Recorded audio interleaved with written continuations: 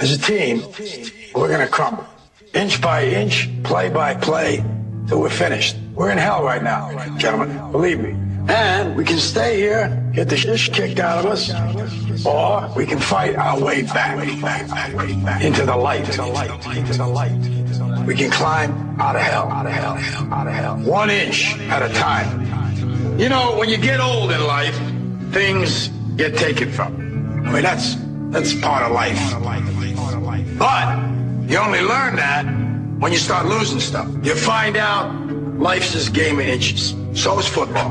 Because in either game, life or football, the margin for error is so small. I mean, one half a step too late or too early, and you don't quite make it. One half second too slow, too fast, you don't quite catch it. The inches we need are everywhere around us. They're in every break of the game, every minute, every second. On this team, we fight for that inch. On this team, we tear ourselves and everyone else around us to pieces for that inch. We claw Because we know when we add up all those inches, that's gonna make the fucking difference between winning and losing. Between living and dying. I'll tell you this, in any fight, it's the guy who's willing to die who's gonna win that inch. And I know if I'm gonna have any life anymore, it's because I'm still willing to fight and die for that inch. Because that's what living is. There's six inches in front of your face. Now I can't make you do it. You gotta look at the guy next to you. Look into his eyes. Now I think you're gonna see a guy who will go that inch with you. You're gonna see a guy who will sacrifice himself for this team because he knows when it comes down to it, you're gonna do the same for him. That's a team, gentlemen. And either we heal now as a team, or we will die as. Individuals. Ideas are bulletproof. And we're finding out exactly how bulletproof they are. Every day, standing up to tyranny worldwide, people are getting tired of it and saying, enough is enough. Welcome to the show, ladies and gentlemen. It is September 30th, 2011. This is Down the Rabbit Hole, and I'm your host, Popeye from FederalJack.com. Today, I am joined by my good friend, researcher, professor, and all around nice guy, Jim Fetzer. Jim, say hello to the audience. Popeye, thanks for having me on. Not not everyone would agree to your characterization. No, I know. Some people would call you kooky or, or nutty or they'd pick on you or whatever. But see, uh, mostly those are the same people that would probably call me a conspiracy theorist or a kook or a nut. So I guess we're in the same boat. So really, their opinions don't mean much to me. I mean, Well, there seem when, there uh, seem to be yeah there seem to be a lot of uh, how do I characterize them uh, out there who uh, you know still believe in the, the official account of 9/11 or want to defeat those of us who are doing our best to expose morons. Yeah, morons is how I would. I would. morons. That's what I would label them. Fair enough. Speaking of morons, you were on the uh, BBC network uh, recently, and uh, Yeah, one of the yeah. I think it was, was it a radio show? Was it Yeah, a radio show or did, did, was it video? Worldwide live. Worldwide live.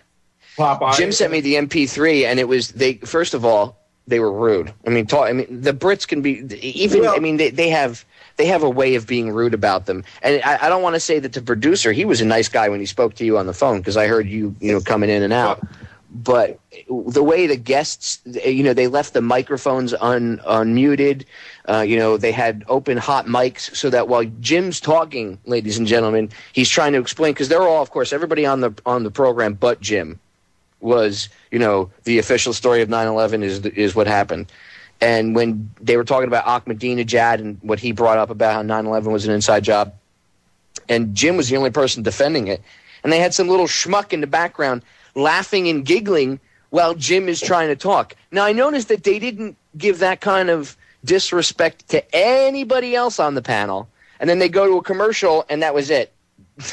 they got rid Well, of you, think, Jim, uh, you were. you know, I think the thing was uh, was an arranged event, uh, but it didn't go quite according to Hoyle. I mean, the hostess Philippa Thomas had actually called me in the morning, and, and, and we had uh, talked. I'd explained to her my views about all this, so she actually knew enough to know where I was coming from. So I think I was the token representative from the 9/11 Truth Movement.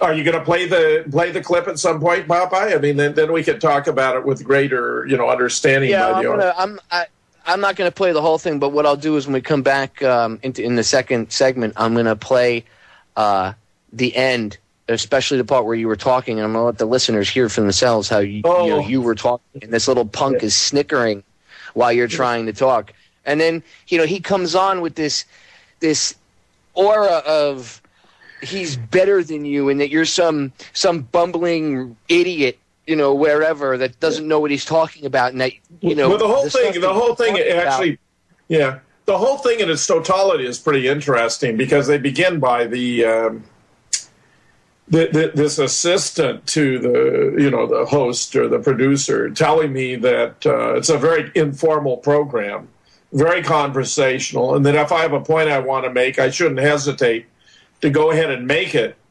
Uh, I heard that. He did say that. He said that don't do not hesitate to interrupt them. Don't feel you have to wait for them to ask you anything. But actually, Popeye, when I got on, I mean, it appeared to me that Philippa Thomas, who was the hostess, actually was rather formal and like to delegate, you know, certain blocks of time to each of her guests. I guess, I think there were four of us on that first part. Uh, there was a professor from B- Boston University. There was a, some professor from Iran. There was this guy, Richard, you're talking about, who was in New York, who was identified as someone who blogs on, I don't know, politics and foreign affairs. And then there was me. And, uh, you know, what's really remarkable about it, uh, uh, actually, Popeye, is uh, that I got out so many important parts. I mean, th- you know, this was live, so they couldn't edit it and it was worldwide. So, you know, really, uh, I got out a lot of important points about the towers. I mean, the first point I made was why, you know, he, he, the president of Iran is right and his critics are wrong, and that anyone can tell the government's been lying about 9 11 if they just look at videos of the destruction of the Twin Towers, because according to the official account, it was done by gravity. And gravity is a downward force, a unidirectional downward force but yet the buildings are blowing up in every direction, which is a consequence of explosives. So what they're seeing is something that could not be done by gravity, but had to have been done by explosives. And anyone can just look and tell, therefore, on that basis alone, that the government's been lying to us. I mean, that was probably the most Jim, important point I that made. that would require that would require that physics and science weren't altered on that one and one day only, I may add, because since then I haven't seen insurance companies or anybody be worried about building code. I mean, if this were really the case where buildings could come down the way they did and turn it where steel can get turned into microparticulate matter that can float through the air like dust, okay, well then I guess we need to go look over all of our building codes everywhere, all over the world, not just in the US, but all over the world, because apparently a simple room and contents fire. Okay, yes, there was jet fuel, but most of the jet fuel burned up. Okay, so what was left? There might have been some some you know jet fuel maybe inside the the you know a couple of the floors itself, but most of the stuff that was burning after a while because that jet fuel would have Yeah. burned off rather quickly. So what was burning, what was left was room and contents. That's what you that's what a That's right. firefighter you know in, in the firefighting That's right. industry would be known as a room and contents fire. And that is That's not right. I can tell you from six years of firefighting, that's not enough. There's nowhere near enough energy or f- physical force, or even it just doesn't make sense. It just it just does not make sense well, at all. When you put it to science, it doesn't make any sense, Jim.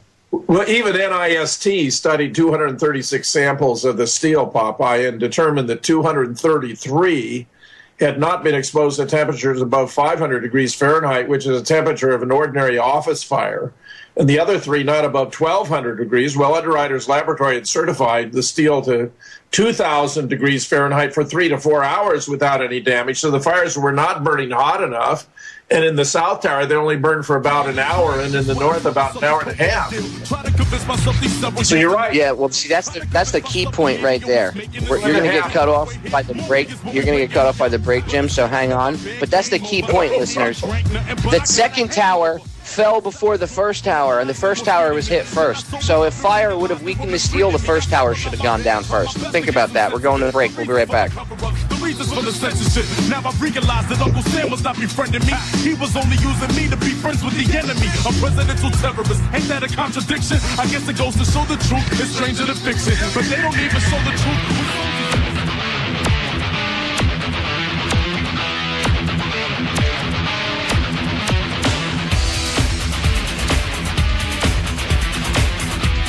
We are back. We're hanging out with Jim Fetzer today, September 30th, 2011. Jim just got railroaded, as I would call it.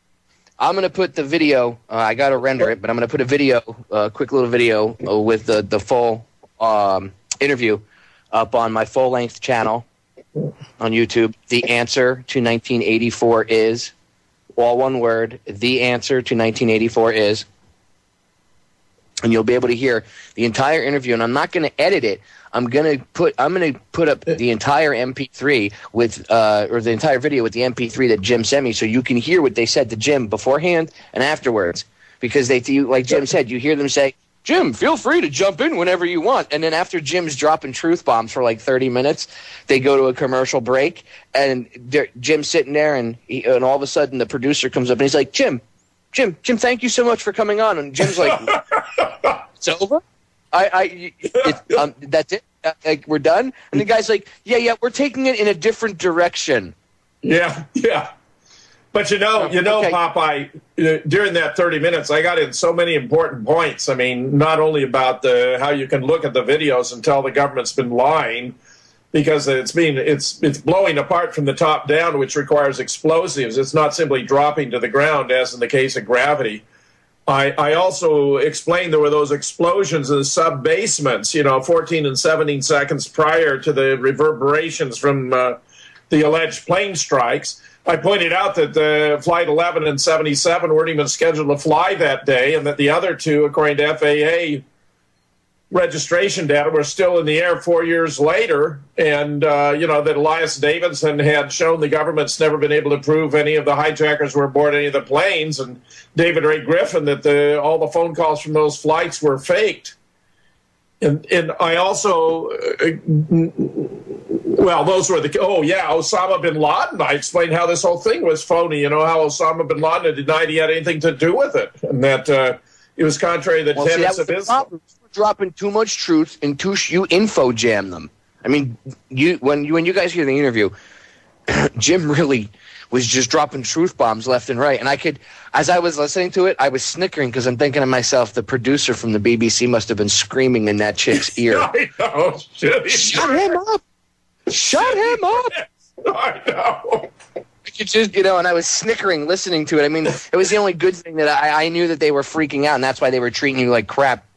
I mean, as your friend, I, I you know, I, I get a, I get a little pissed off because I don't like people. I don't like. I, first of all, I just think it's disrespectful. I mean, even if you weren't my friend Jim, mm-hmm. it's disrespectful to treat any researcher, anybody you bring on your show, like.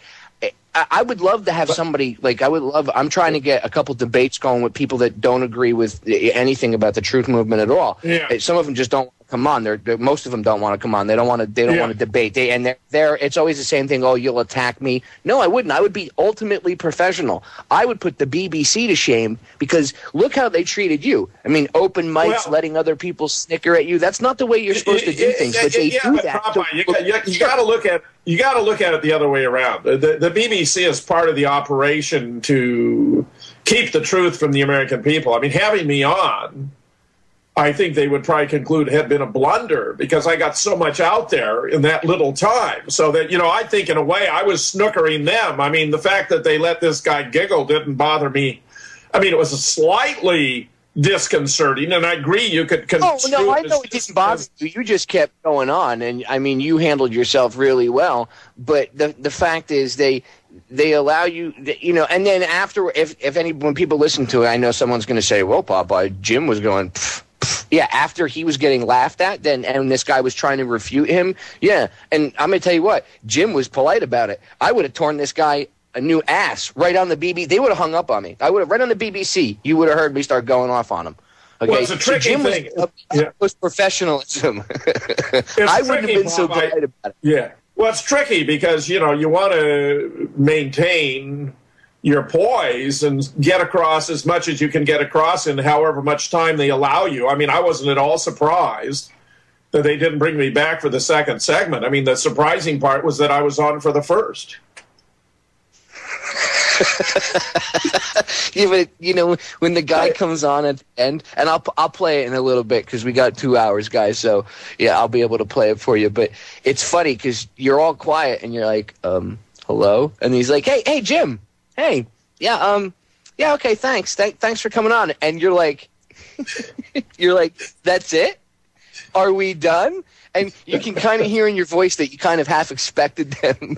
yeah, I was surprised yeah. just give you a click and hang up on you. But do you expect yeah. anything less from the BBC? I mean, they had that, that stuff they did with you guys, uh, you and Jones, right before 9-11, that they had that moron um, Charlie Bitch or Charlie Veitch, whatever his little name is. He was running around and he with a bunch of other conspiracy theorists. They had the 9/11 road trip. Then he comes back and all of a sudden he has an epiphany and says 9/11 isn't an inside job anymore. I mean, the, the BBC's a joke. Look at 9/11. Well, Look what they did.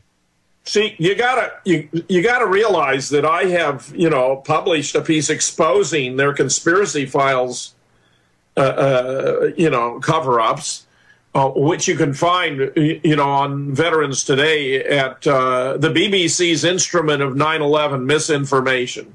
The BBC's Instrument of 9/11 Misinformation, where I take apart their latest hit piece called 9/11 10 Years On, and explain how they were very subtle about it. They they came here this time, Popeye, and interviewed me for four hours. They had come three years before and interviewed me for eight and on that, based on that first one, they used seven and a half minutes, and then four minutes Alex Jones and three and a half of Dylan Avery. Uh, this time they featured the the three of us again, uh, but also Niels Harrit, who's one of the hard science group. You know, has been mm, promoting nanothermite as the key to understanding what happened on 9/11. So, you know, I had the opportunity to really take them apart because what I discovered when I watched the show was I'd be talking about one photograph, the hit point, or the clear lawn, and they'd show a photograph of a, another location that has sometimes been misdescribed as the hit point, and they'd show a lawn with debris on it. And then when I explained, you know, where did that all debris come from? Because it would have been too awkward to have officers and enlisted men carry it out onto the lawn. And I have conjectured that it may have been dropped from the C 130 that was uh, circling the building they interviewed the pilot who said he was offended that anyone would suggest that he could have been involved in this. They were Are just, you there? They were ridiculous with with the. I, I I was while you were talking, I was going back and listening to the, the interview again at the yeah, same time yeah, in, in yeah. my other ear. Yeah, and it's just it's just ridiculous. With dude, it, it's almost like Jim. It almost sounds like somebody was holding a script in front of the guy. Uh, not the guy from Boston, the other guy. The guy in New York, supposedly the from Richard, to- the yeah. Richard. no, no, not him either. The other dude, the, the guy from the Middle East. Oh, the guy in Iran. Yeah, Well, he was being Tehran very cautious. he was. He, he was being very cautious. He was saying, however, no, that J- Jim, I swear to God, it sounds like somebody was holding a script in front of him, and he knew exactly what he could say and what he couldn't say. He didn't go over the line saying Ahmadinejad's a nutbag because he would have probably been hanging from a, you know, a yardarm. Well- but at the same time, he did denounce you know, that he was wrong and this and that. And, and they try to tie it in. They, then they tied into that whole Al Qaeda got mad at him for, for, for saying, and they, they try to bring that up like that's a real relative thing. It, so the CIA got mad that Ahmadinejad said 9/11 was an inside job. Okay, I mean Yeah, that's, sure- that's the way you have to look well, at he it. He was actually he was saying too that conspiracy theories are growing. You know, I mean, uh, that Oh actually. yeah, he said that. And, but see, be, you see how they pinned it on the Middle East though. You see how they they try to make it sound like it's a it, it, oh conspiracy theories. You know they they abound in the Middle East. Like like they emanate only from the Middle East. You know like it's Arabs that are going. Yeah, the, the Federal Reserve's bad, America. You guys should wake up. Yeah, because they knew about the Federal Reserve people. Right. It's all BS. Propaganda bullcrap. We're going to break. We'll be right back. They killed my entire family, murdered and tortured, raped and pillaged. I was only five and I was the only surviving witness. My entire village burned to the ground. He wore a serpent in his crown. Happily committed murder with a frown and an army.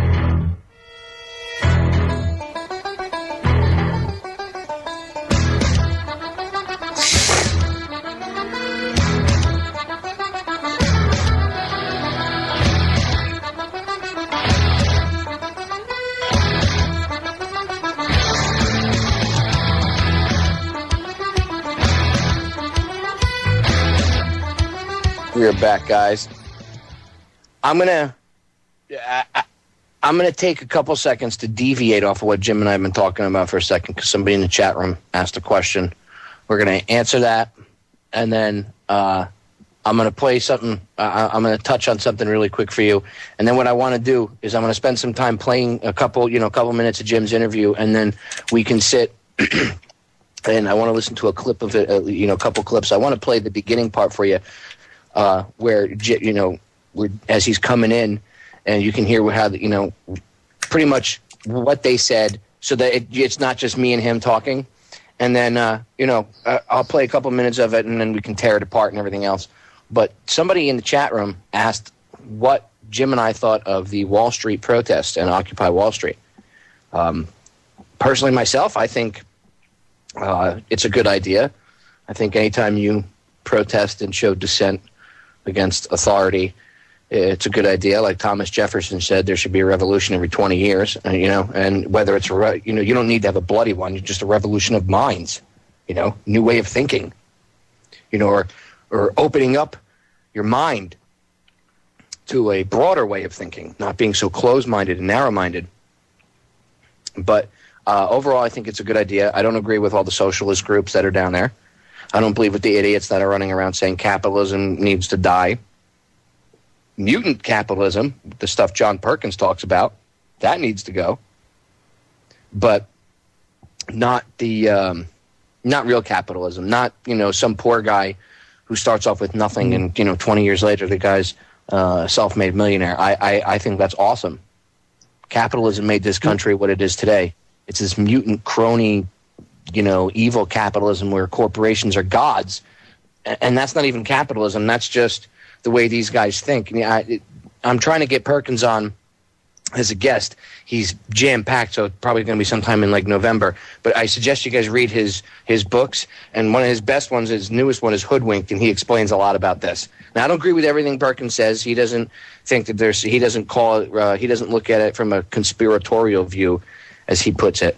But if you get if you look up the definition of conspiracy and you see that it means two or more people getting together to plotting to do something bad obviously banks plotting to screw the citizens of the country or the world would be a conspiracy to do that.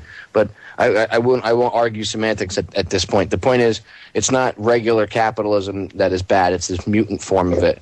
I don't agree with communism or socialism or, or, or complete anarchy, but I do. Agree, I think it's good that all these groups are coming together from all different avenues because they can all agree on one thing: that Wall Street is evil and corrupt, and these people need to be held accountable. And some of them, like Jamie Dimon and all these others, need to swing.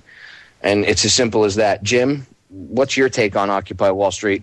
Well, I think it's a good thing too, Popeye, though I might, you know, offer a different critique. I mean, I think the kind of capitalism you're describing is by and large mythical, you know, the self made millionaire. I mean, it happens on rare occasions, but it's certainly not the common occurrence. And, and today, what we have is crony capitalism, or you know, th- th- there's a process of socializing costs and privatizing profits. So that there's uh, corporate capitalism is very much the way of life today in the United States, where the government gives all kinds of tax breaks and subsidies to some of the biggest and most profitable corporations in the world, which is simply absurd. Uh, so I think that's the sort of thing that the protesters are ob- objecting to. I mean, the government ought to be benefiting the people, not the corporations. And some of the decisions that have been made by the Supreme Court are simply stupefying, all things considered, including the idea that corporations have the same rights as persons and also that corporations can uh, can make unlimited expenditures in elections, which seem to me to be antithetical. I mean, if corporations are persons, then they should have to subscribe to the same or be uh, controlled by the same limitations on contributions made by persons as are persons so that the subsequent decision that corporations can have unlimited spending, you know, uh, is simply absurd given the history of their decisions. Neither is justifiable. These are both wrong decisions. But they certainly, it seems to me, taken together, exemplify the incoherence of the Supreme Court at present. I mean, I, I don't know if history will ever show that we have had a worse, a least, a less competent Supreme Court than we have today, but it's certainly astounding that these uh, five right wingers who control the court are making some incredibly stupid decisions that stand as very poor precedents for the future. And uh, Rob in the chat room makes a good point. He said, you know, uh, okay, this is a theory, but I think this thing started as controlled opposition, meaning the the uh, Occupy Wall Street, and judging based on the groups that were the first ones to show up, and I'm not saying all of them, but the majority of the people that showed up being anarchists and socialists and stuff, it wouldn't surprise me if those groups were steered.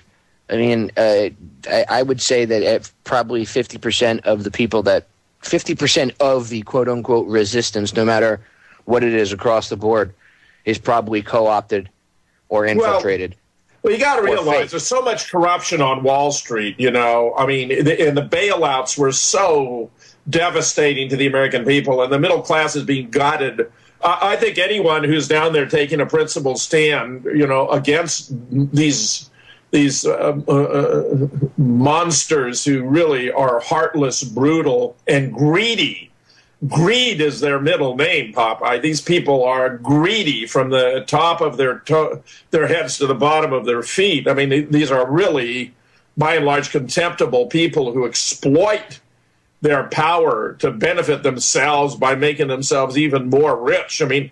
I, have said it before. Whoever, These are the kind of people, Jim, that would climb over their dying mother to f yeah. their sister. Yeah, well, that's exactly the type of people they are. They know, wouldn't think, think twice so about much, hitting you. I don't think they're so much driven by sex as they are by money. You know, it's just money and power. No, but I mean, it's, what I mean is, it's a, it's a, you know, that's the kind of, the, it's an old school statement. It, yeah. You know, it's like, a, yeah. but it, it, it, yeah. Yeah. what I mean by it, just in case the listeners aren't sure, what I mean by it is these, are, that's the type of attitude these people have. They don't care. I mean, yeah. they, they think twice about doing something to you. I mean, look how they act. There's video with them. There's a restaurant right around the corner from Wall Street. and as the protesters were going by, and the only people that you know go pretty much that can afford to go in this restaurant, obviously, are you know well-to-do people, and most of them are, you know, a lot of people from Wall Street and stuff. Well, apparently they were they were out in the balconies, and they started like drinking glasses of champagne and you know laughing and pointing and taking pictures of the protesters as they were going by, and people took video of it. And you can see these are all well-to-do people that have money, you know, sure. and they don't care. It just it's amazing the disconnect and then when you try to tell people stuff about 9/11, oh these these people wouldn't do that to us. Are you kidding? Look how they treat protesters walking by. They they drink champagne and laugh at them and take photos and point at them with their cell, you know, and take photos with their cell phones and ha ha ha ha. Look at the stupid, petty, cheap, you know, poor protester. Ha ha ha ha. Drink your champagne. Ha. I mean, that's the kind of attitude these people have. They really don't care about us. So yeah, they would kill three thousand of our own citizens to start some you know crap somewhere else in, in another in another part of the world. To start well, if you take a good super- look at some of these people, yeah, like Dick Cheney, who may be the most evil person to occupy a high position in American history, and Donald Rumsfeld, who's a close second, and Paul Wolfowitz, and Donald Feith, and Richard Perle, and uh, you know, General Richard Myers, who just seems to me to be as squishy as a sponge and be willing to do anything for everybody just to, no backbone, No backbone at all. And then you get, you know, charlatans like Rudy Giuliani and Larry Silverstein, and then their friends in the Mossad. I mean, this is a. I, there's a lot going on here. I, I must mention a, a couple pieces uh, I've recently published on Veterans Today. One is entitled uh, Peeling the 9 11 Onion Layers of Plots Within Plots, where I and, a, and an expert on co- covert ops by the name of Preston James go through the multiple layers of patsies that have been trotted out, beginning with the Palestinians, believe it or not, while the Twin Towers were still smoking, a, an image of Palestinians rejoicing was flashed on the screen. And that had to have been planned in advance because it wasn't current event. The Palestinians were speechless like the rest of the world. It was dragged out of the dragged out of the archives to create the impression they were taking pleasure in our No, in wagging our- the dog. They, they do that kind of stuff in Libya too. They they were playing footage from a uh, an Indian soccer match or whatever, and all the there's like a couple thousand fans, and they all have Indian flags, and they were like, "Oh, look, it's live from Tripoli on the BBC of of all places." So it doesn't surprise me at all. We're gonna get cut off by the break. We'll be right back. Listeners, stay tuned. Three minutes.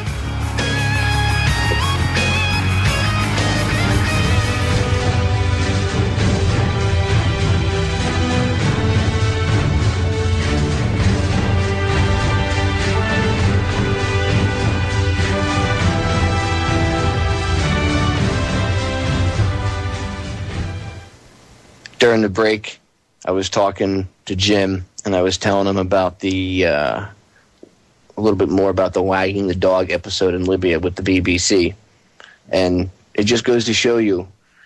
I mean, they get caught lying time and time again. And I was telling him about ITV. Now, I'll, upload the video to my YouTube account, but you gotta you just go on YouTube and check it out. Uh, I don't remember the name. Just put BBC uses video game footage in the search, and I'm sure it'll pop right up. Um, ITV was doing this report. Uh, I think it was the 26th, so like four days ago. They aired this episode, six part episode, six part special, rather, about Gaddafi and how he's a bad guy and all this other crap. Of course, you know, trying to propaganda push it into people's heads, justify 2.7 billion dollars. You heard me correctly, 2.7 billion. That's just the UK's take. That's just their. That's just what they spent in Libya so far in the past six, seven months. 2.7 billion. So now they have to justify to the slaves why they're raping them for 2.7 billion. So they're playing the Gaddafi stuff, and they're trying to connect Gaddafi to the IRA and the IRA attack on a helicopter of some sort. So they show what, what they claim to be eight millimeter footage from the IRA, and it's from a video game. And the guy on YouTube shows shows the he shows the clip where they're playing that it's it's you know oh we're being you know th- th- this is their eight millimeter footage from the IRA itself and blah blah blah blah blah and this is they used it as a training video and all this other propaganda crap okay and then you get he he goes through that and then he shows you from the video game the whole clip that they took uh, two sections of and edited them together to make this little quote unquote eight millimeter film. But he shows you and you see it's a video game and you're like, oh my god.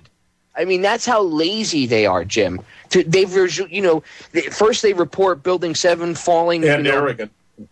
yeah, but well, completely. They they report Building Seven falling before it's supposed to go down, or before it did go down, rather. Right. Then, you know, in the years since, the BBC constantly gets caught, and I don't know if it's it's because they're British and they they have that British height of arrogance, or maybe. And I'm not saying all Brits are arrogant, but they have that. They try to put off that aura of. I'm a, you know, we're arrogant Brits, or if they're just arrogant in general, or if it's because they're the media, or it, it, because maybe they're they think we're that stupid. But they literally constantly pull this crap, and then they do things like again on nine since 9/11, okay, or since before, right before, you know, maybe six months before 9/11, they have done, as far as I know, one, two, and now they've interviewed you about it, and I know they interviewed you one other time too, previous.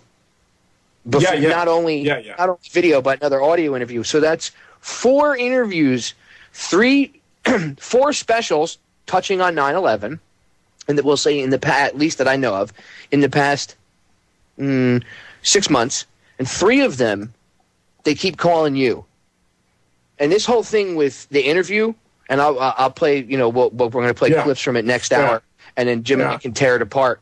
But you can hear. I mean, you it was a setup. It was a complete and total setup with you. They jumped all over you, and it was it, they they had three guests that obviously are going to toe the party line and laugh and giggle. And by the way, when people laugh and giggle, that's a Pavlovian response. I don't get mad. I feel sorry for people like that because they're that brain dead. Because Pavlov's dogs were taught that if you rang a bell, you know they would. It, it, ended up that they would drool every time Pavlov rang the bell because he used to feed them when he would ring a bell, and it got to the point where they he rang the bell and their brain automatically correlated the bell with food, and they started to salivate. Well, that's what they've done to the populace. Okay, and they they've done it with many different objects and items, and that's why there's marketing, and that's why there's TV programming. They're not called. You, you, you might call it a TV show, but in the industry, it's called programming.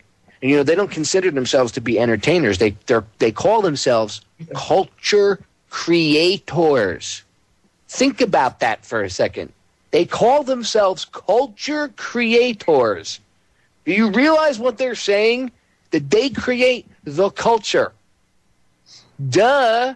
People are going to be, well, Popeye, of course they do. They're the music. Um, what, what, huh? Of course they do.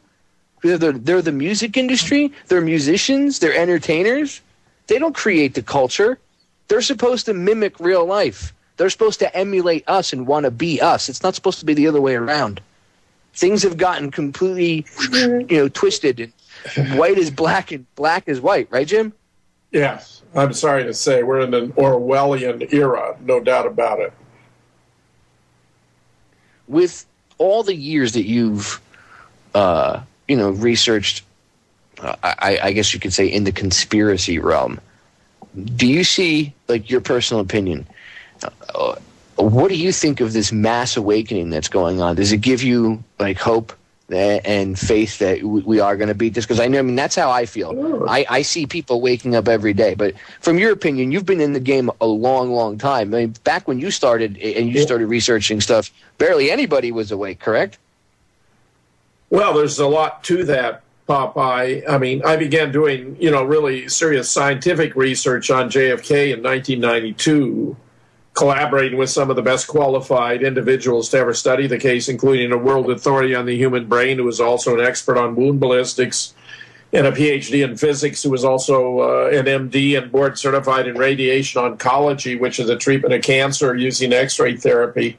So he was an expert on the interpretation of X-rays and and, and several others too. And you know, we began taking apart the cover-up of JFK, discovered the autopsy X-rays had been altered to conceal this massive blowout to the back of the head, another to implant a 6.5 metallic slice to implicate this obscure World War II weapon that was going to be used to frame Oswald. Uh, uh, that the Zapruder film had been massively edited to conceal, for example, the limo stop when the driver brought the presidential limousine to a halt to make sure Jack would be killed, during which he was shot twice in the head, once from behind. He fell forward. Jack eased him up, was looking him right in the face when he was hitting the right temple with a frangible or exploding bullet that blew his brains out to the left rear with such force that they hit a motorcycle patrolman named Bobby Hargis, who thought he himself had been shot.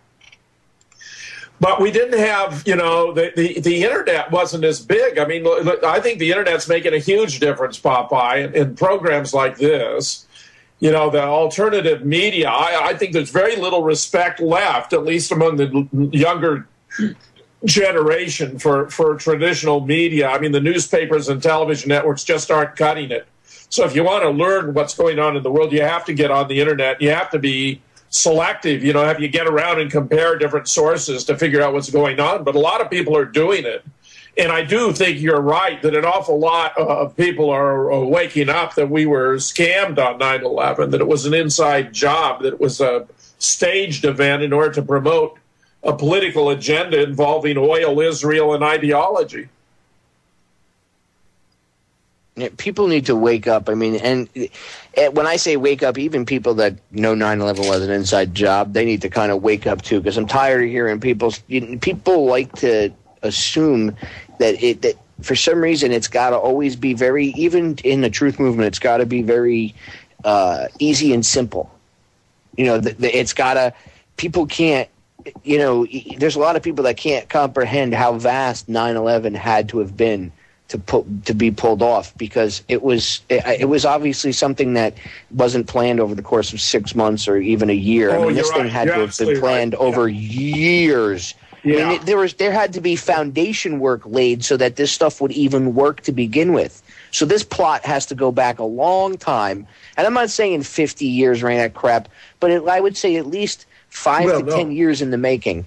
At- I Well, mean, and I'm serious when I think say that. Yeah, I think that's a reasonable estimate. I mean, the, the, the idea of creating a war on terror that was going to be involve the what Joshua Blakeney has referred to as the Lukenitization of the you know Middle East or worldview about the Middle East. I mean, eh, eh, Benjamin Netanyahu published a collection of essays in 1986 entitled Terrorism How the West Can Win, in which he was basically laying out the idea of, you know, the conversion of the Middle East into a bunch of little statelets instead of these larger Arab states so that there would be no. Uh, no political force that could compete with Israel's domination of the Middle East. I mean, that's really what's been going on here. And some of this other stuff seems to be opportunistic.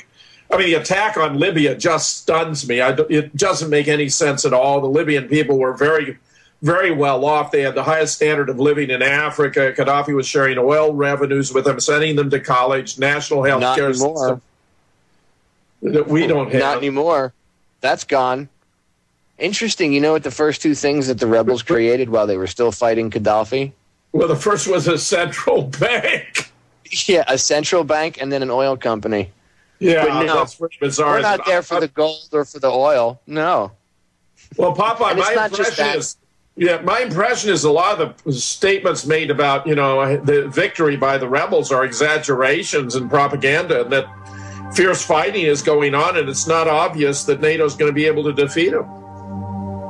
Oh, they have to. They're forced to admit now, Jim, that they're that the rebels are getting their rear ends handed to them. One of their top commanders, their field commander, he just got blown up yesterday by a, Well, one of I, Gaddafi's don't- I don't think rockets. NATO, NATO, NATO has no business being there, and uh, uh, Gaddafi I have- is just- it's it's disgusting that we're even there. I have no. it's disgusting I, that we're there. I, I don't feel bad when any of these rebel Al Qaeda scumbags Yeah, get killed either. I, so-called you know, rebel. the innocent, maybe the innocent young kids of Libya that get swept up, but not the Al Qaeda morons. I, I don't feel bad for them anyway.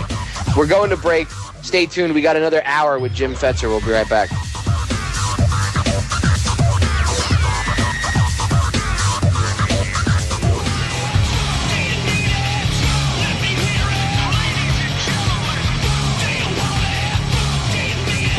Are back for hour number two. It is Friday, September 30th, 2011. This is Down the Rabbit Hole. I'm your host, Popeye from FederalJack.com, and I'm hanging out with my good buddy, Professor Jim Fetzer. Jim, Did you somebody notice asked that- in the chat. Somebody Did asked a notice- question really quick. Yeah, go ahead. Go ahead. Go ahead.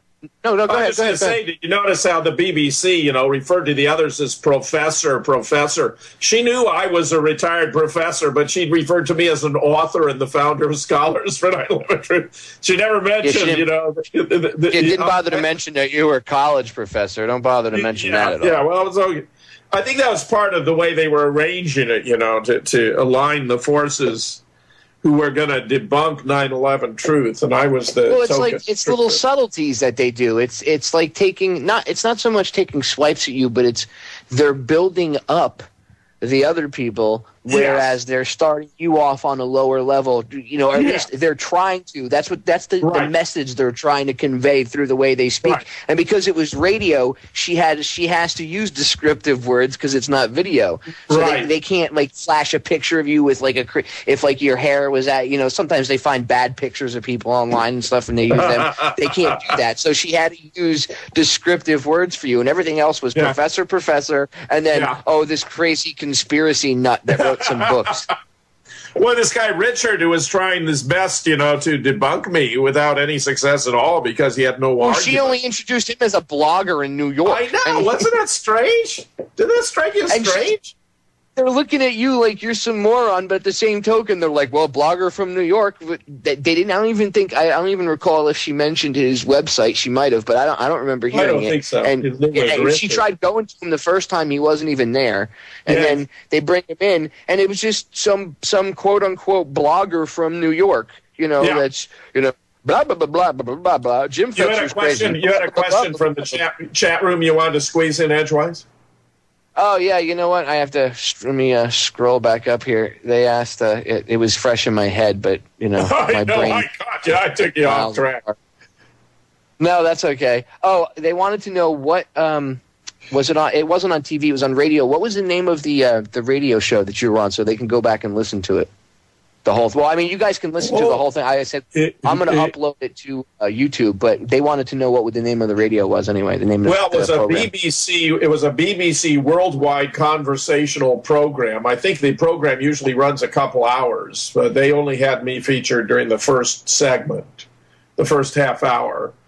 But it's something. It may be part of the BBC World Service uh, because they had a member also who interviewed me, Max Pearson, had interviewed me before, and so far as I can tell, they killed that interview he claimed it was broadcast, but when I wrote him and asked him for links to where I could find it, he, he was non-responsive. I think he was just, Of course. you know, trying to pacify me so I would realize, which I already had realized, that they hadn't broadcast it. Well, you're the, Right. you know, you're the, you're, what'd you call yourself? You said they look at you like uh, you're the uh, the nutty professor. Well, that was the way they tried to cast us in those two conspiracy files Yeah, they they, pieces. they you try know. to make you like the kooky Dylan, nutbags. Dylan, Dylan's the obnoxious kid, and, and Alex Jones is the, the messianic professor. I mean, uh, preacher, and I'm the kooky professor. I mean, that's the stereotype they're trying to play.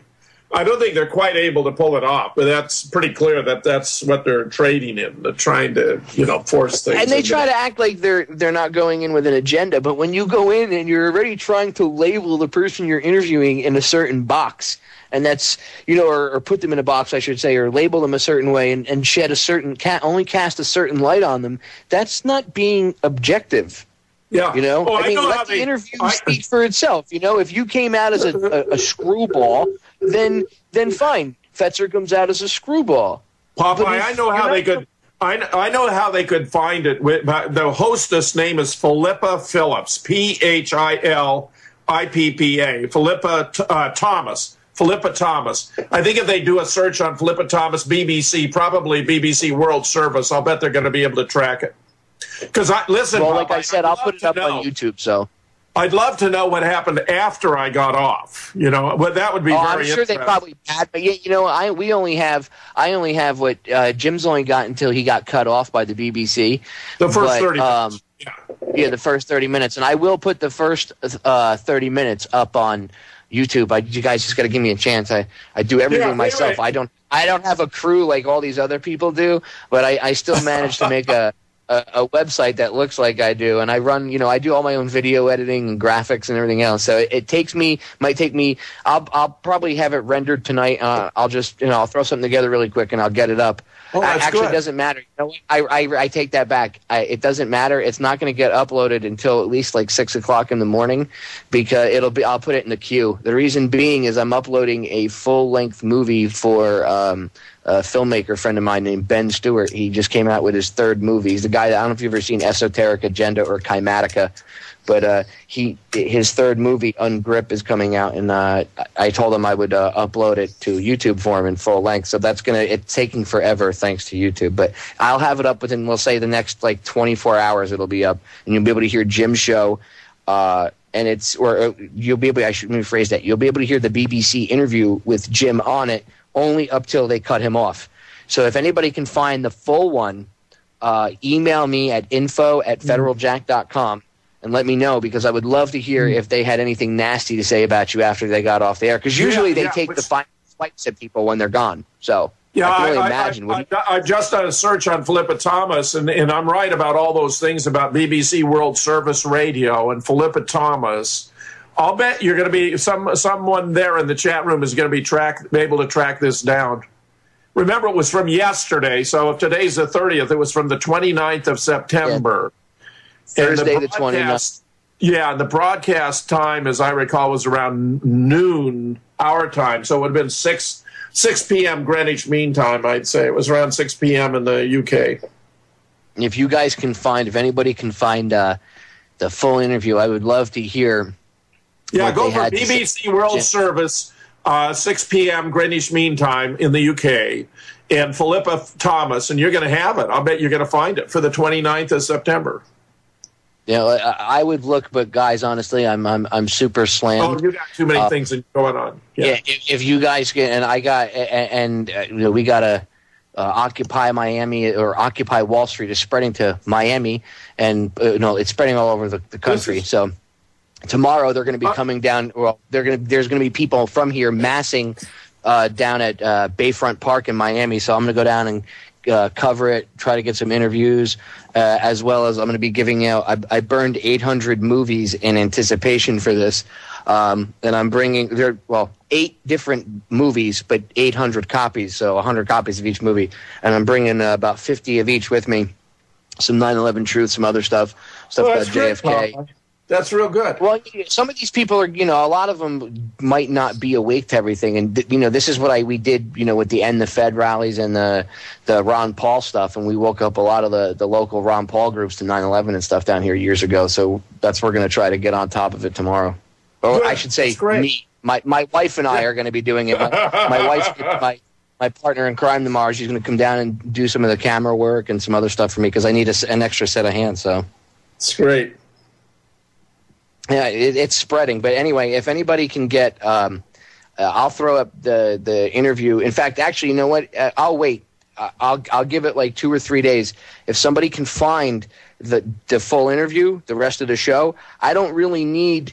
You, you know the rest of the geopolitical crap. Unless actually if you guys listen to it if they take swipes you know minutes in or you know 20 minutes later if they start taking swipes at jim again then yeah let me know in the when you send it to me in the email and i'll make sure i go through the whole thing. But if you guys can find that end clip for me i'll wait. And if you can send it to me that way i can put in after you hear jim and everything then i can mm-hmm. fade it out and have you know some text come up and say okay now after jim was on listen what they had to say. And you know i could play that. That Yeah. would be fine. So i'll wait to throw the show up you know, I know you guys want to hear it, but I'll wait to throw the show up. If you guys can find the whole thing, you'll have the whole interview anyway. You'll be helping me out. So Play some clips. do me a favor. Yeah. Yeah, I'm going to play some clips from the interview when we come back. We're going to break. Perfect, So, guys, perfect. stay tuned. Three minutes. Me and Jim will be right back, and I'll play some clips from the BBC. Uh, we'll say attack Live. on Fetzer. It was, it was Well- uh, that was an inside job too, right, Jim? We'll be right back. was an inside job. job. They lie, they scam, they cheat and steal. They plot, they they act, it's real.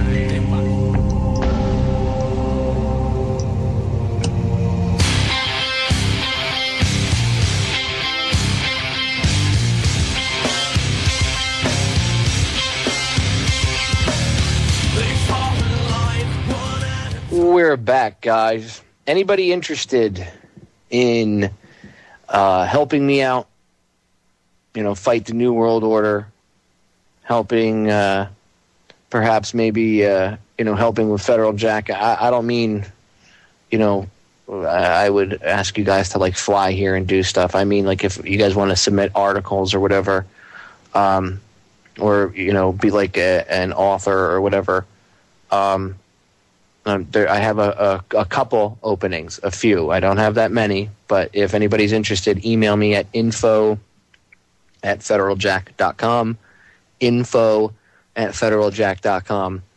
And, uh, you know, if you have a specialty or you're good at something, include that because, you know, that'll, you know, if you're good at like Flash or uh, if you're good at making graphics or whatever, or video, or whatever we can we we all need to kind of create a one massive cohesive unit that works together and we don't need any any one head nobody has to be in charge but we can all kind of we can all if you have a website we can all work together and promote each other. We do this with the the intel hub and and other sites. We all have to kind of work together. So if anybody's interested in kind of becoming part of this larger group you know with like me the intel hub bobtuskin.com other websites and all kind of working together and backing one another um, hit me up info at federaljack.com if you guys want to maybe uh, if you feel like you know, hey, I you know Popeye, I've been a listener for a while.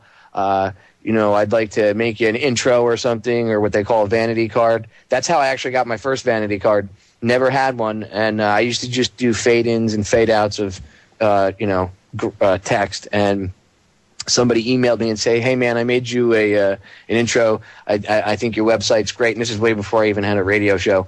And uh, they were like, I, "I love your YouTube channel. I love uh, your website, and I made you uh, an intro." And that's how the one that you guys normally see all the time, where with the explosion and it looks like fire, and it says Federal Jack, and then you hear the the action of the gun go. What that was actually made by uh, a listener, you know. So uh, if anybody wants to help out uh, you know, hit me up. And uh, if if you make a, a, cool intro and I end up using it in my videos and stuff, uh, I'll send you some free DVDs, whatever I whatever copies of whatever I happen to have laying around. Um, somebody in the chat room, by the way, I, I, I, didn't get a chance to see who it was, but I saw that they threw it up. Uh, the link to uh, Philippa Thomas's, uh, I think it's a WordPress blog or whatever it was. So um, it might that might lead you to the interview with Jim. I'm sure you probably have to go through BBC itself too. You might want to try BBC. What did you say it was BBC World? Is that where it was, Jim? BBC World or uh, BBC One or whatever? Was there a certain channel it was on? Because I know they have a couple different versions over there. Uh oh, I think we lost Jim. Let me see if uh, I can get him back on here. I didn't even realize that we uh, had lost Mr. Fetzer. I should say Professor Fetzer. Let me see if we got him back. Hopefully they didn't drop a JDAM on his house or something. Take poor Fetzer out. That would suck. But uh, yeah, you, I'll get the interview up. If you guys, I'll wait a couple days. If you guys can email me that. If by like Sunday I don't have it, I'll throw the whole interview up. It's just a 30 minute interview. But you can hear that. Uh, they uh, they totally hosed them. I mean, it, if it wasn't him, they probably would have brought somebody else in. But I think they just keep Jim on speed dial over at the BBC, and they it, they pretty much just you know they have the three guys pretty much reading from the script. Of course, it was you know it was Bin Laden, you know it was the 9/11, you know the 19 hijackers, and it couldn't be anybody else. And these are crazy conspiracy theories. And Ahmadinejad is a nut. In fact, one of the things they got on, they talked about was they were talking about Ahmadinejad and how Al Qaeda came out in, I think it was Inspire magazine, and they said, uh, "Stop being a conspiracy theorist. You know, don't be a, a moron, Ahmadinejad. You know, blah blah blah. Stop feeding the. You know, we did it." And it reminded me of this uh, this clip from The Onion that they had back in. I found it on YouTube. It's from 2008. And I swear to God, I'm going to play this. It's like a two minute clip. And uh, Jim's back with us, by the way, guys. But I'm going to I'm to play this this two minute clip uh, so everybody can hear it. And now think. You can go back and uh, I'll find the link for the ABC article. But uh, think about this. They said that they they want you know Al Qaeda wants uh, Ahmadinejad to stop saying 9/11 was an inside job, right? It, Got to stop saying 9 11 was an inside job. Now, I'm going to play the Onion clip, and I, I want you to go oh. read the ABC article afterwards. And it's like they took hey, the I'm back. right at Yeah. All right. Jim, I'm gonna play the I'm gonna play the onion clip that I, I told you about. I'm gonna play it for the listeners. Here, guys, listen. Go ahead. Yeah, do it. That's great. Destruction of the World Trade Center was not the work of terrorists, but was in fact perpetrated by the U.S. government.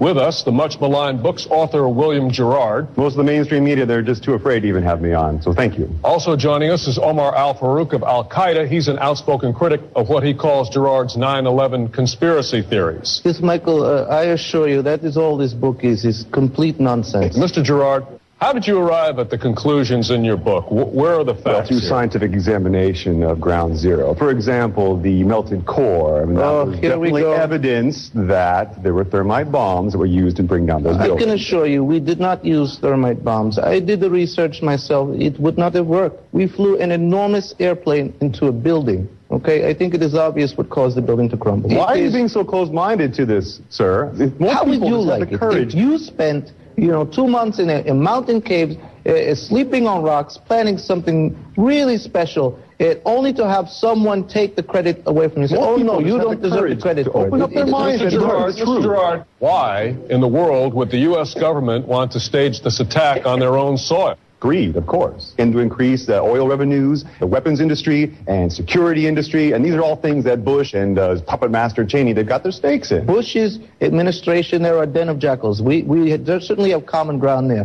But, but what does not follow is why would they kill? Follow. Why would they kill 3,000 of their own infidels? Well, of course, because why, think about it. It was all part of their plan to build a case for the war in Iraq. so smart think to plan it. all of this. Why is his approval rating, you know, in El Haman, and why is Osama bin Laden safe in somewhere. Yes, the Iraq War has done serious damage to the Bush uh, administration. Here, here, look, look. I have uh, names, phone numbers, everyone involved in this. Got to be kidding. Okay? Names and phone numbers. I, I have here the the voucher for the lessons, for the flight lessons. This is obviously forged documents. I mean, come on, did President Bush give you these himself? I this is, for this Bush. Is Most Me and Bush, we go out, we hang. He goes, hey, bring on the forgery. This is rubbish. Talking to you is like talking to a girl. This is the kind of thing our government does. I mean, Let Mr. Farouk of Al-Qaeda speak. I have a suggestion for you.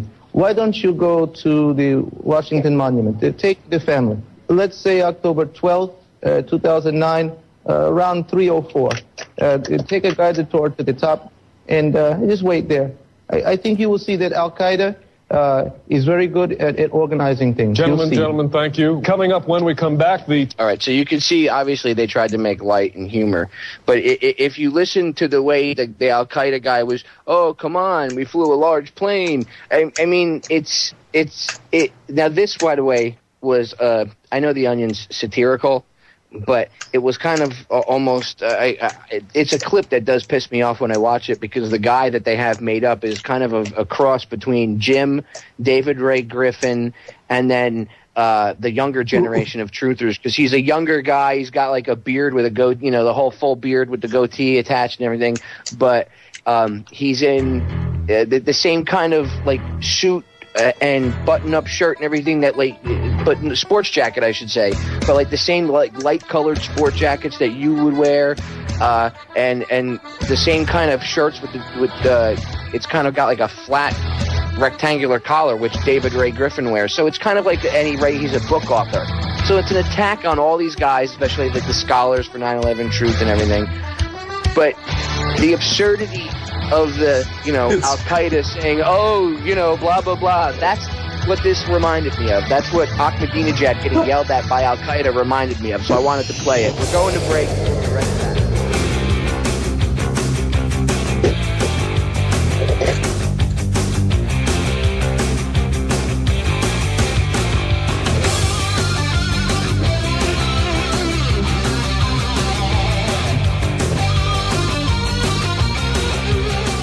We're back, guys. I'm going to play a clip from Jim's interview because I've been saying I was going to do it, and, and Jim's on time.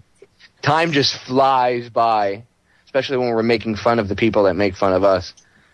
We like to sit back and point fingers and laugh at them, but, but that's besides the point. Anyway, um, I want to play a clip. Now, this is right when they tried bringing this guy up uh, earlier the guy from New York, the the unknown blogger from New York, uh, and he he uh, I guess the the phone line w- cut off or whatever. So they got him finally back up, and they went back to when he wasn't there. They went back to the the other two guys, and then they went back to Jim.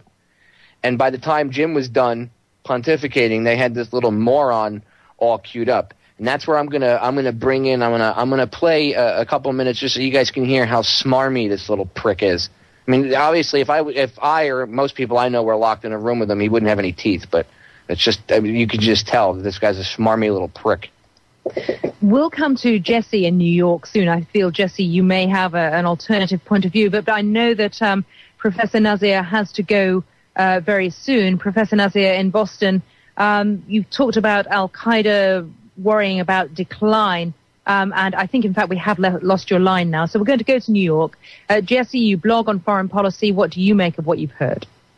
Um, I, I sort of don't even feel like responding to the gentleman from Wisconsin because his crackpot theories are so bizarre that I would sooner listen to Scarlett Johansson talk about biology or something. What I'd like to talk about is focus on the serious issues um, that are actually going on in the Middle East and, and agree that there's a sort of panic among uh, Irani forces and in Al Qaeda forces that both of their uh, ways of thinking um, have been rendered obsolete by the so-called Arab awakening. Um, and so, in order to take the um, spotlight and and uh, take it away from the, the movement toward democracy and secular pluralism in the Middle East, and and put it on an old familiar friendly enemy like the United States, um, I think they're both hoping uh, will will help uh, increase their esteem among the, the people of that region.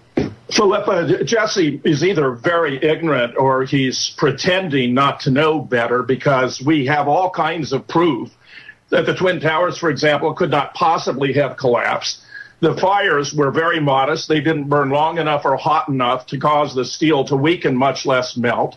The buildings were constructed with a safety factor of 20, which meant every floor could support 20 times the number of floors that would be expected to support even during full occupancy. And if the fires had actually burned long enough and hot enough, they would have caused some gradual sagging and tilting of the floors, not the complete, total, and abrupt collapse that took place. I'm sorry to say that Jesse is here to obfuscate what we have well established based upon objective scientific research, including engineers. I had to pause it for a second. That's a prime example of Jim Fetzer verbally ripping someone a new ass on air. I'm going to go back. I just think it's awesome because he's a smarmy little prick. You see how I don't even think I should respond to the person in the person in Wisconsin or the man in Wisconsin, whatever the hell he called you. How about Professor Fetzer? How about that, you smarmy little bastard? Pilots, physicists, and other experts who have been members of scholars. Again, I reiterate, go to 20 reasons the official account of 9-11 is wrong. Uh, Jesse, I dare say, would un- be unable to refute any of those.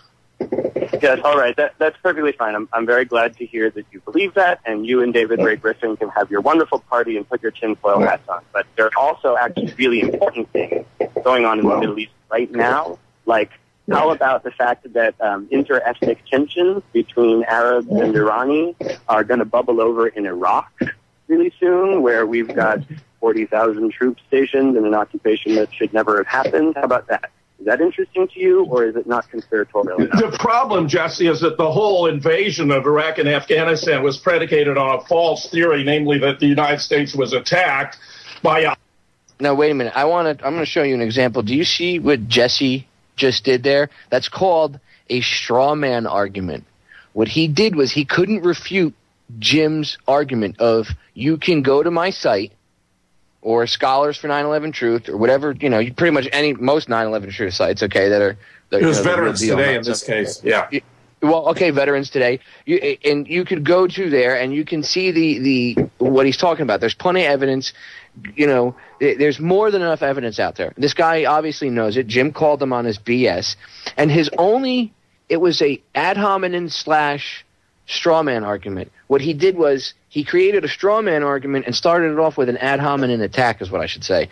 First, he called you and David Ray Griffin tinfoil hat wearers, okay, Right. so that automatically he's trying to degrade you. Okay, now, and anybody who understands logical arguments understands that you should never use ad hominem attacks ever.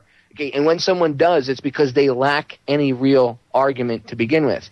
And then he creates the straw man argument of Jim, are you not concerned about the invasion of Iraq and the illegal occupation of another country? Well, of course Jim is concerned about it. What he's trying to explain to you is that 9/11, because it was used as justification for such crap, okay, was an inside job purposely to get people in the mindset that they would back such an event.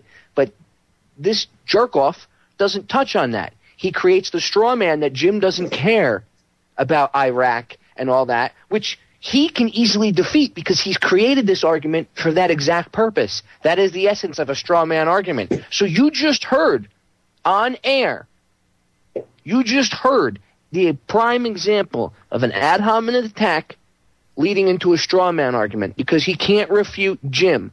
Because he knows if he goes to Jim's site, if he goes to Veterans Today, if he goes to Scholars for 9/11 Truth, this guy, this little jerk off blogger, knows that if he does even five to ten minutes of investigating, he will see it. Okay, and he will see the truth, and he'll see there's oodles of evidence.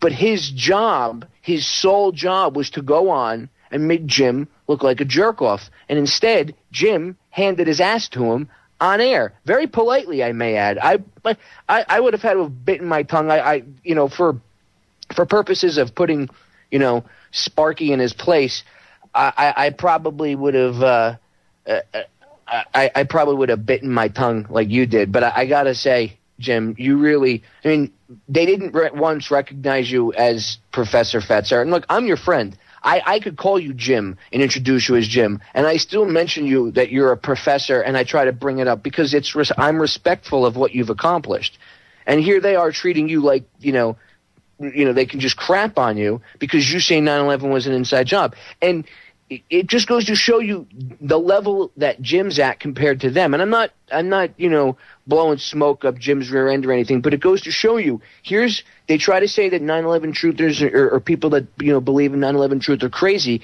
and yet Jim sat there and was able to politely refute this guy with facts, and he didn't respond to the ad hominem attacks, which is what he wanted. That's what that's for. That's to get you angry so that you're like, don't call me that because bam, it just brought you off topic. Now you're not talking about what you were just talking about. It derailed you.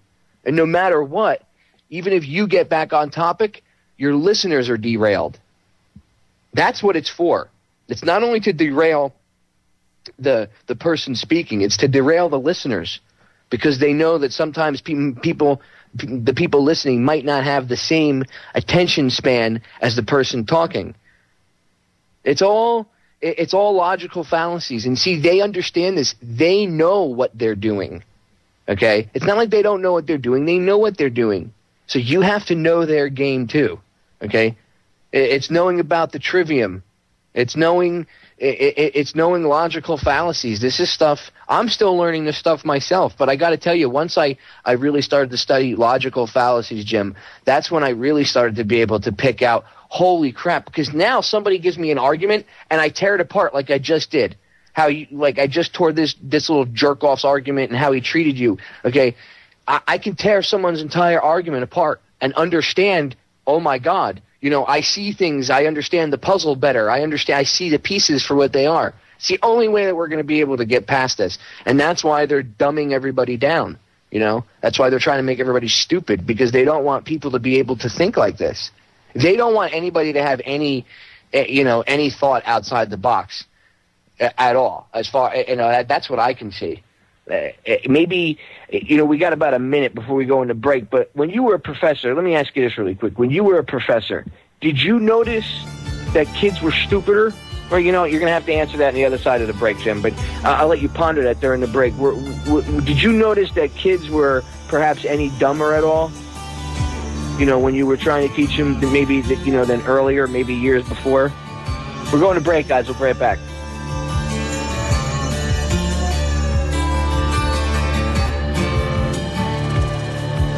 It's all the same.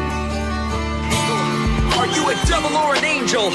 And I say Bush was telling us, don't believe me or Cheney. Don't believe our outrageous conspiracy theories that 19 guys with no training uh, to fly passenger jets could fly passenger j- jets in a manner that defies physics and should have torn the passenger jets to pieces. But that's even another subject unto itself. Um, and when I say that, it's because the, the jets were flying too fast, too low. Uh, uh, pilots for 9/11 Truth has shown that, that, and these are professional pilots, some of them over 30 years, have shown that that's physically impossible. So they would have had to have been military jets. Regular passenger liners were not built for that. So they had to have been something else If- that was made if- to look like something else. If they weren't all So, uh, Phantom flights, yeah. If they weren't all just Phantom flights, uh, Popeye, actually. It, you know, it's it, it, I I have a feeling it, it's going to probably take another 20 years. Even if tomorrow the truth about 9/11 came out, and they admitted that it was an inside job, and we actually started to get some uh some sort of a real investigation into it. I I don't think we'd be able to uncover the entire plot, you know, every aspect of it.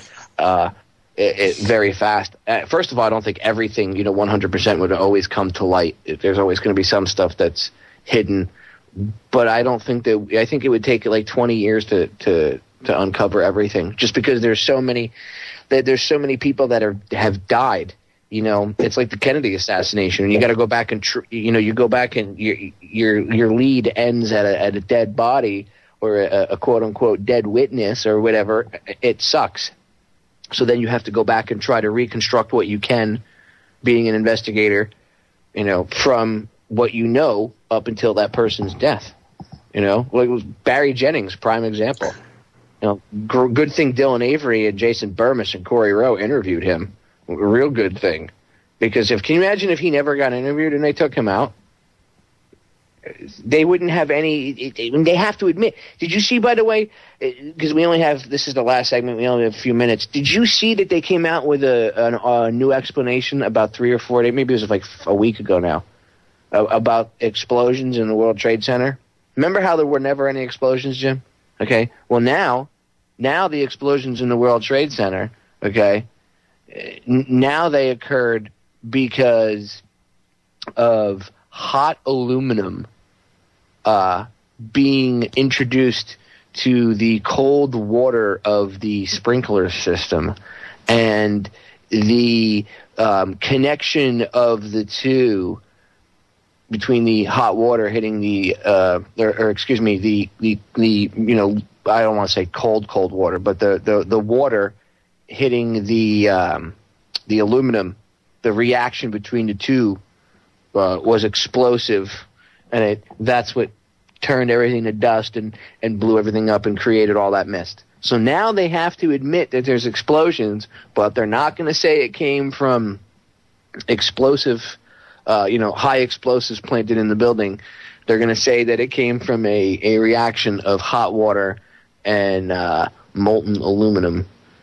Just completely, completely ridiculous. Uh, sorry about this, guys, but we lost Jim. Jim seems to have lost his internet connection. Uh, so, not a big deal. It happens sometimes. I, I, don't think the Illuminati got him. I just think his internet connection probably died. Not a, a biggie. If I can bring him back in before the end of the show, I'll bring him back.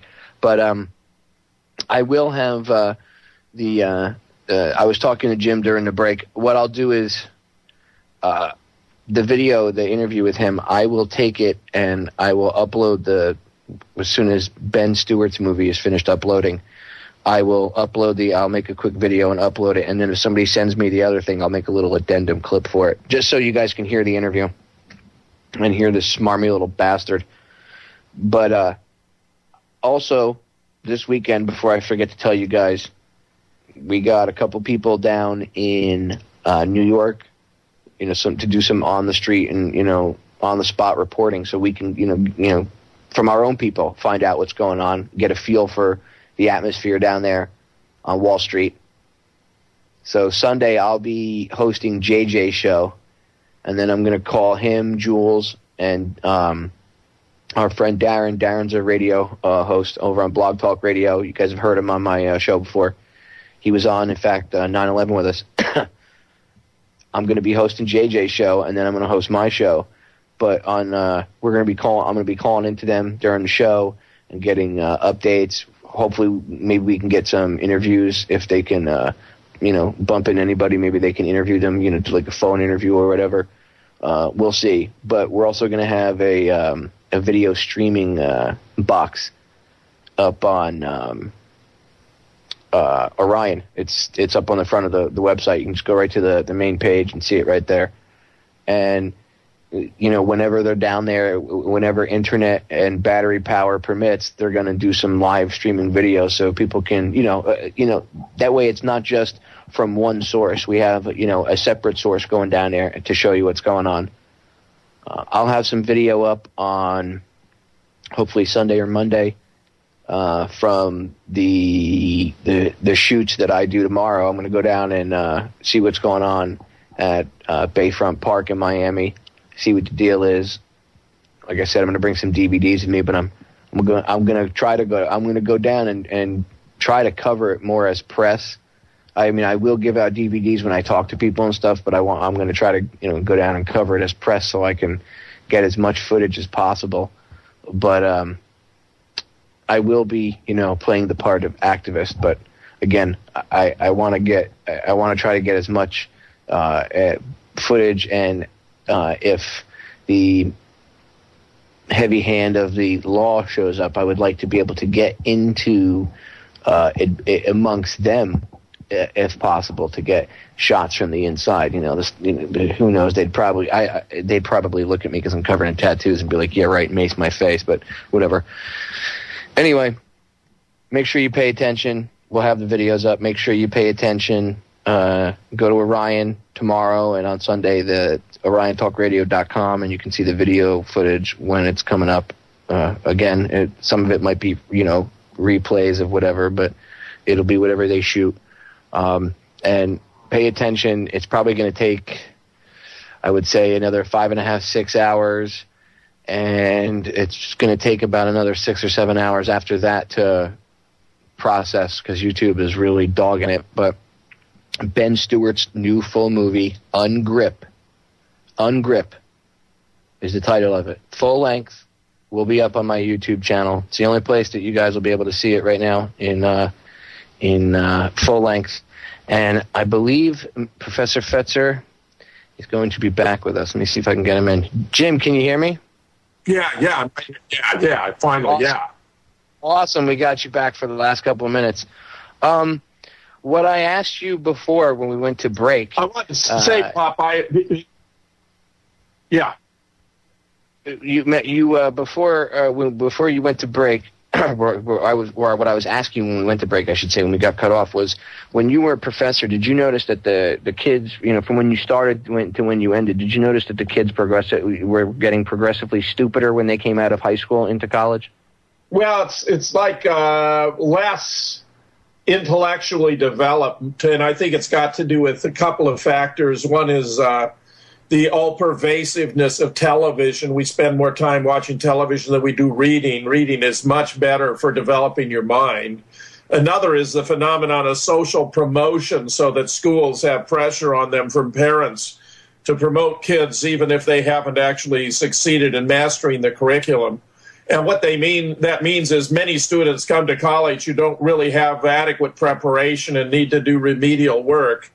And so I'm sorry to say, I think that probably as a generalization, it's true, though those who may have been disadvantaged can make up a lot of ground by, you know, getting deeply involved in research like that on 9-11. Go to, go to Veterans Today, for example, check out my articles like uh, The Science and Politics of 9-11, the Toronto hearings. Then for more on the science, study the 20 reasons why the official account of 9-11 is wrong and for more on the politics, peeling the 9 11 onion, layers of plots within plots. That'll give you a pretty good handle on the big picture regarding 9 11. Yeah, without a doubt. And Jim spent a lot of time. There's other things you should check out. Jim, uh, the Saddam Hussein thing really quick. Tell them where they can look out the uh, they can look at the mission accomplished fiasco because that's an interesting story. Where can they oh, find it is. that? Yeah, go, go, go to go to 911scholars.org and scroll down to the mission accomplished fiasco, and you're going to find like uh, 20 different columns and articles and interviews I've done with the mother of the B 1 bomber who took out Saddam Hussein and his two sons and about 60 members of the general staff about three weeks into the Iraqi invasion it's really a startling story. Uh, the guy they dug out of the, you know, came out of the hole in the ground was one of his doubles. The man they put on trial was one of his doubles. When Saddam's wife finally visited the man they claimed was Saddam's, they came out saying, Where's my husband? Where's my husband? What have you done with him? This is not my husband. It's really a fascinating story. Yeah, it's incredible. Jim, we're out of time even two hours isn't enough with you. Thank you so much for coming on, as always. Uh, you know, e- even with technical difficulties, it's a pleasure to have you on. well, thanks, Popeye. I think you're doing a great job, and I really appreciate it. You're doing a really good work. Well, so are you. Uh, believe me, if it weren't for you, the listeners would never have been able to hear my uh, epic interview with Judyth Vary Baker. So thank you. Guys, Super. I'll see you again on Sunday, and I'll be hosting JJ's show. We're going to be around all weekend trying to cover what's going on with the occupation of Wall Street and elsewhere throughout the United States of America. Till then, I'm out.